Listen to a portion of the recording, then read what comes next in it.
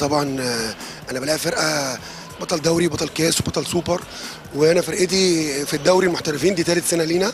فإن إحنا نوصل إن إحنا نلعب في الثمانيه اللي فوق وألعب دور الثمانيه في كاس مصر ومع نادي الزمالك دي حاجة طبعا ده إنجاز آه، يحسب للبنك الأهلي كمنظومة آه، كرياضة عموما يعني. عندي اللعيبة بتاعتي كلها صغيرة 96 و 98 أنا عندي حوالي 3 4 لعيبة بس اللي هم اللي هم سنهم كبير شوية مش كبير طبعا اللي هم بالنسبة لهم أكبر من الموجودين.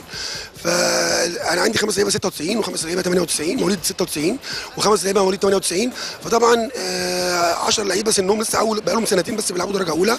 فطبعا فرق غير طبعا آه، لنادي الزمالك آه، أحمد الأحمر الدرع الناس دي طبعا بقى لها كتير ليها باع يعني في في الدوري وفي على المستوى العالمي يعني. دي رابع سنة ليا ثلاث سنين مدرب عام.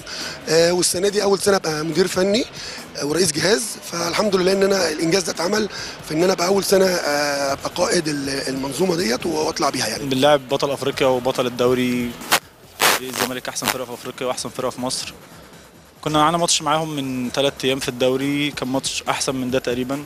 تركيزنا كان قليل شوية النهارده بسبب ضغط الماتشات. إحنا كل اثنين وخميس ماتش ماتشات كلها مستوى عالي ربنا ما اردش النهارده. وطبعا بنلعب فرقة كبيرة نصها منتخب مصر فربنا ما اردش الحمد لله. النادي نادي البنك مش مقصر معانا في حاجة. إحنا السنة اللي فاتت كان الفرقة بتلعب تحت وكان ده المستهدف إن هي تضمن البقاء. ما تهبطش. السنة دي المستهدف إن إحنا نلعب في الثمانيه الكبار وبنجمع خبرات وبنعمل فرقة كويسة. إن شاء الله السنين الجاية نبقى في مراكز أحسن بإذن الله.